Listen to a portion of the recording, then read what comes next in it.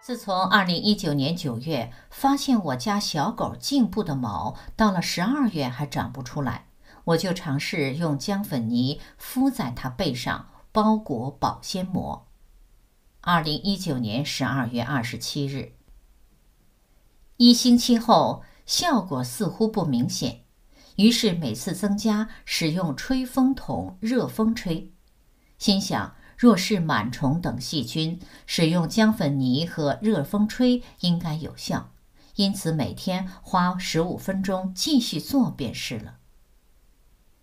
到了二零二零年二月份，发觉小狗掉毛更严重，也露出皮肉了。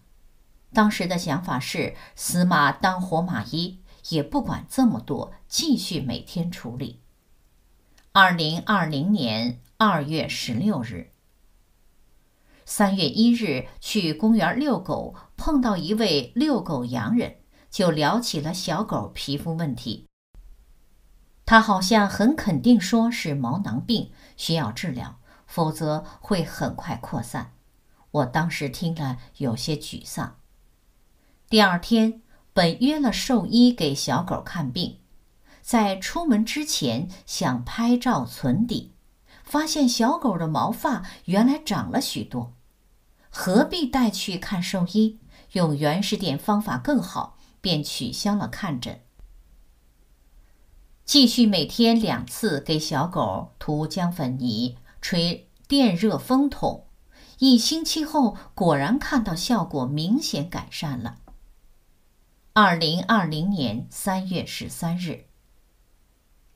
二零二零年三月二十三日，小狗颈部的毛全都长出来了。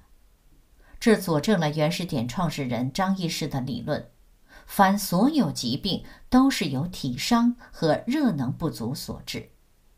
我应用姜粉泥和电热风吹，就是要加强改善小狗颈部的热能不足，以达到因变果转之效果。二零一九年十二月二十七日处理前，二零二零年三月二十三日处理后，两个半月时间。